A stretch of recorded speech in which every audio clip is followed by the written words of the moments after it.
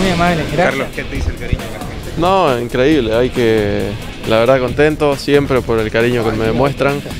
Eh, y bueno, es por ellos que nosotros eh, nos matamos en la cancha para darles una alegría, para que estén contentos por un buen resultado de la selección y se lo merecen. Vamos, vamos a ir a hacer buenos partidos, preparándonos obviamente para lo más importante que se viene en septiembre. Se ve buen semblante en todos, Carlos, y buenos ánimos.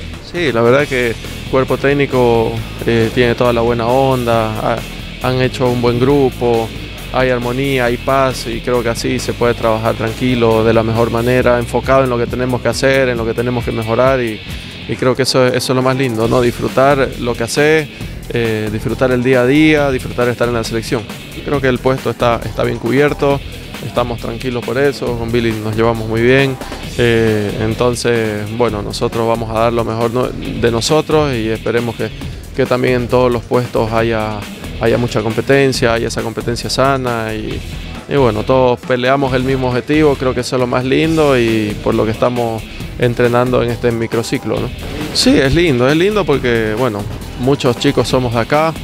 eh, a veces no pueden ir todos a La Paz, no pueden ir tus padres, tus hermanos, tus, no sé, tus primos, tus amigos.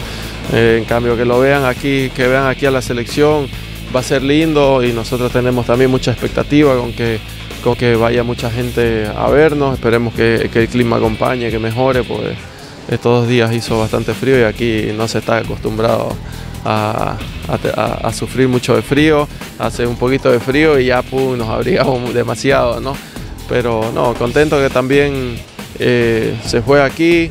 Esperemos que pronto se pueda jugar en, otra, en otro departamento, porque la selección es de todos y, y bueno, sería lindo, no sé, que, que otra vez se juegue en otro departamento, no sé, Cochabamba, Oruro, ciudades que estén capacitadas para recibir a la selección. Y los partidos normalmente de fecha FIFA nunca jugamos en la altura, entonces creo que, que hay que variar, pero obviamente nuestra sede eh, es La Paz, nos sentimos cómodos ahí, eh, anduvimos eh, muy bien la última eliminatoria, ganamos partidos importantes, por ahí nos faltó un poquito más, pero, pero bueno, creo que tenemos que saber jugar tanto ahí, ahí arriba como aquí abajo también.